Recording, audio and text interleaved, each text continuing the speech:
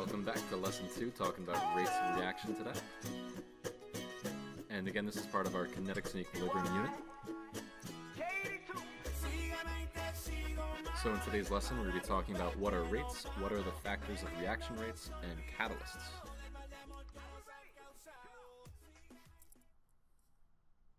Okay, so what are rates? A rate is a measure of speed of any change that occurs over an interval of time. Rate of a chemical reaction is often measured of a change of number of moles during that interval of time. So if you think of rate, you've definitely seen it before, like miles per hour. That is a rate uh, a car can go. So in this little diagram, we're showing that we're starting with one type of substance, which is what we're going to call square. And as the square substance starts to react, we're noticing as time progresses, the square substances are turning into the circle substance. And as more and more time progresses, then eventually we make mostly all circle substance. And all rates are really dependent about on those colli- amount of collisions that can be created. So thinking about the different types of chemical reactions, some of these that we see are going to be rates that are faster and slower.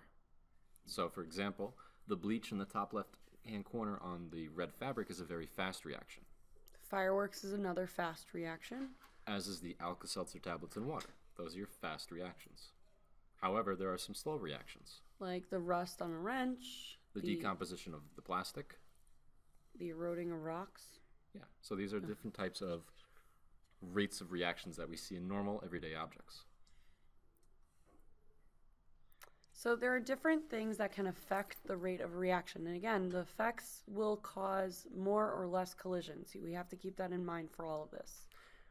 So we have nature of reactants, uh, concentration, pressure, temperature, surface area, catalysts.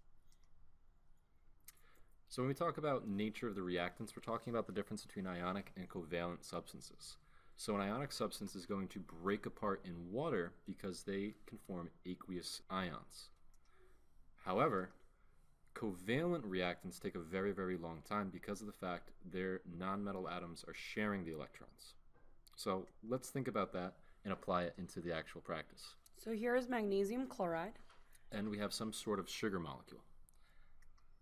Between these two molecules, which of the two is going to be more reactive in a chemical reaction? Think about what type of bonding is going on between the different elements in both of these compounds. So you should realize that magnesium chloride is going to be our more reactive substance just because of the fact it is ionic.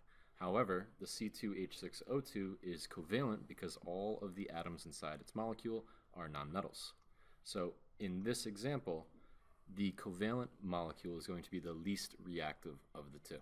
That doesn't mean it's not going to be reactive, it's just going to take a longer period of time to react.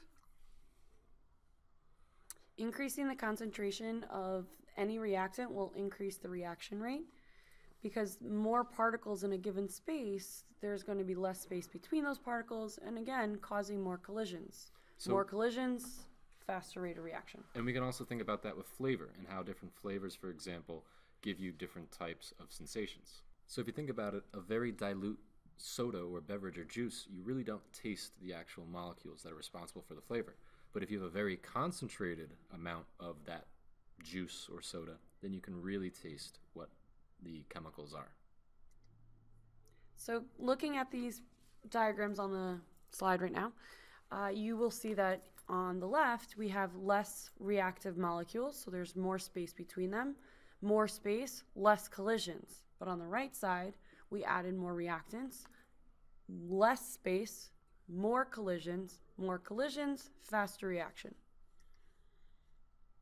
Pressure is going to be another factor that is only going to be affecting gases. So if we were to increase the pressure of a reaction, only the gases would be affected. Because gases are compressible, they're the only ones. So if we increase the pressure, our volume is going to decrease. And as the pressure increases, volume decreases, more collisions are going to happen.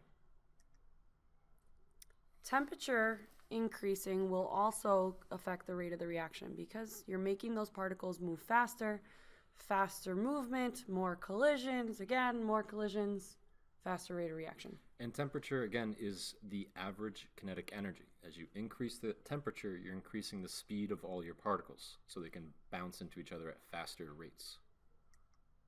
And you can do this at home.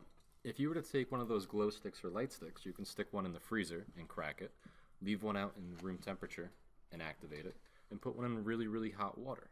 If you were to try this, you would see that the hot water glow stick is going to glow the most or the brightest. And which one's going to die faster? Probably the hot one, just because of the fact it's using up its reactants much, much, much faster. Right. So increasing surface area, which really just means making the substance smaller in size. So if you have a sugar cube, if you were to smash that all up and make little tiny granules of sugar, this is the idea of making surface area larger. Um, because the smaller the particle, the larger the surface area in total. Increasing the surface area gives you more surfaces to react with, and again, more reactive surfaces, more collisions, more collisions, faster rate of reaction. So let's look at this little animation of what occurs when you take steel wool and combine it with fire. So normally fire and steel don't do anything because steel is dominantly in a big, big, big piece. But when you have really tiny, small pieces of steel wool, you can see the amount of energy that is flowing through this sample. And I'm pretty sure it is very hot.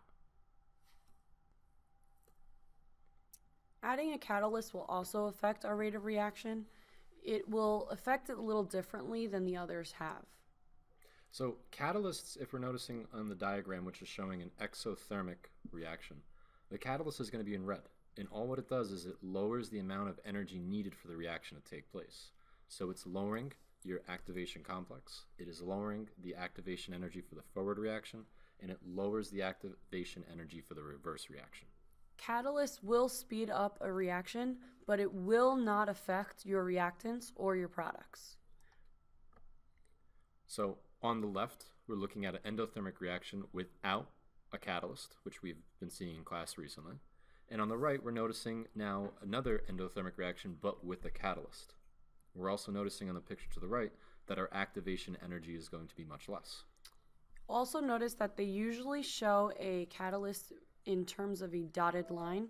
Often on the Regents exam, they will ask you to add a catalyst to a potential energy diagram. Make sure you understand that it is just lowering that activation energy. And finally, the last thing you need to know is that your heat of reaction, or delta H with a catalyst, or the heat of reaction without a catalyst, are the exact same kilojoule value. Okay, that is because reactants and products have not changed. Alrighty, so the stuff you should have learned today. We talked about reaction rates, we talked about the different influences of those reactions, we talked about ionic versus covalent, the effects of concentration, mm-hmm. pressure, temperature, surface area, and using catalysts. Other than that, hope you guys enjoy this video and have a great night. Auf Wiedersehen.